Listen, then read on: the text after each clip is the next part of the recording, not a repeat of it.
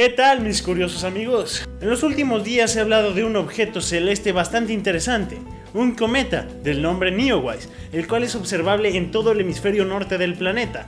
Y aunque se dice que mientras más al norte mejor, en las zonas de México y el Caribe sí que se puede observar, aunque claro, con un poco más de dificultad.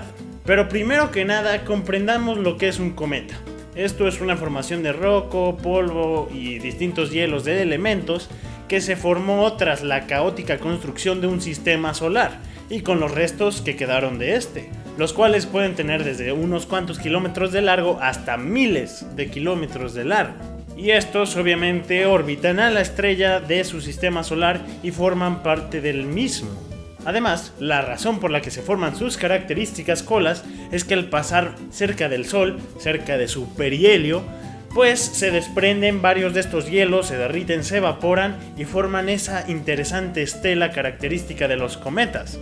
Además, un punto importante aquí es decir que los cometas no tienen su propio brillo, cosa que muchas personas creen, sino que estos reflejan la luz de su estrella de su sistema solar, en nuestro caso, la del Sol. Relacionado al Neowise, este fue descubierto el 27 de marzo por el detector de campo amplio de infrarrojos de la NASA, o por sus siglas en inglés Neowise, mismo nombre que lleva el cometa. ¿Y por qué se decidió ponérsele ese nombre al cometa? Pues bien, es tradición que al cometa se le pone el nombre de la persona que lo descubrió. No obstante, a este cometa no lo descubrió ninguna persona, sino un aparato, por lo cual al cometa se le puso el nombre de este interesante instrumento de la NASA. Ahora bien, ¿Cada cuánto se puede ver este cometa? Este punto es muy importante por el cual deberían de aprovechar verlo. Esto ya que este planeta no volverá cerca de la Tierra en unos 6.800 años. Sin contar además que el último cometa así de visible para la Tierra pasó en 1995, hace 25 años. Así que tal vez esta sea la oportunidad de ver un cometa así de visible antes de que llegue el cometa Halley y para el cometa Halley todavía faltan muchos años. Ahora bien, hablemos de la parte más importante de este video. ¿Cómo podemos ver el cometa Neowise? La cuestión aquí realmente está en los tiempos, porque el cometa Neowise está en el cielo todo el tiempo. La cuestión es que el brillo del cometa debe verse mayor al brillo del Sol en la Tierra, esto para que lo podamos ver. Y esto no sucede más que en el amanecer, en el atardecer o en la noche. Además es importante decir que el cometa actualmente está en su punto más cercano a la Tierra, lo cual es un beneficio para nosotros.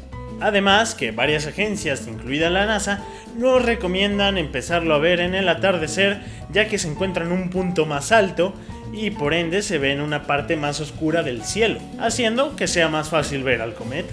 Bueno, ya sabemos más o menos cómo, pero ahora necesitamos ubicarlo en el cielo, el dónde. Aquí lo que se nos recomienda es ir a un lugar un poco más elevado, puede ser el techo de tu casa o tu edificio. Y una vez estando ahí, la cuestión es buscar la osa mayor. Y claro, si no sabes cuál es la osa mayor, puedes buscar en internet. Pero si esto se te complica, puedes voltear a ver al noroeste. Y si todavía no sabes cómo ver hacia el noroeste, te lo explico ahora mismo. Bien, ahora les explicaré cómo ubicar el noroeste si no tienen una idea clara de dónde está. Lo primero que tienen que ubicar es por dónde sale el sol en su localidad. Esto es muy sencillo. Se levantan al amanecer y ven por dónde sale el sol. Lo siguiente es ver por dónde se mete. Ahora, en mi caso, esta es la línea que traza el sol desde que sale hasta que se mete. Ahora en junio es muy alto el sol, 90 grados más o menos. Y bueno, lo siguiente a ubicar es que el norte queda justo enfrente, o sea, de derecha a izquierda enfrente es el norte. Ahora, el este siempre lo pueden ubicar con la mano derecha o este con la mano izquierda, ¿sí? Este o este. Y el noroeste quedaría un poco hacia adelante y a la izquierda de las ubicaciones que les dije anteriormente y así podrían ubicar más o menos la zona en el cielo donde aparecería el Neowise, que en mi caso hay un árbol y tengo que ir a verlo a otro lugar.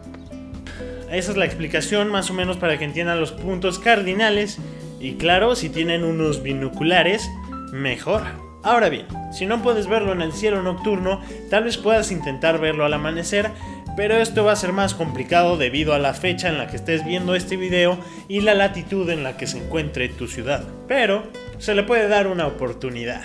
Finalmente, tal vez muchos de ustedes tengan la intención de tomarle una fotografía. Tristemente, con los celulares esto no es muy posible debido a su tamaño y su lejanía. Si las fotos de la luna con tu celular no salen, del cometa menos.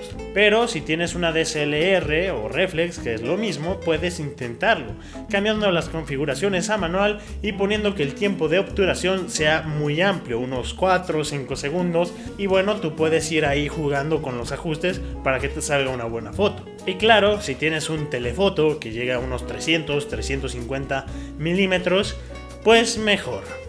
Y pues nada, esto es todo. Espero en los próximos días poderles subir alguna foto que haya captado del cometa. Lo he estado intentando, pero pues no han salido por las nubes ahorita en mi pueblo es tiempo de lluvias. Eh, si les gustó el video, les sirvió la información, les invito a pasarse a otro montón de videos que tengo en el canal. Y si no me conocen, suscríbanse, denle like y comenten para que este video llegue a más gente en estas temporadas que estamos intentando ver este hermoso cometa. Y pues nos vemos en 6800 años para ver el New Wise una vez más. Adiós.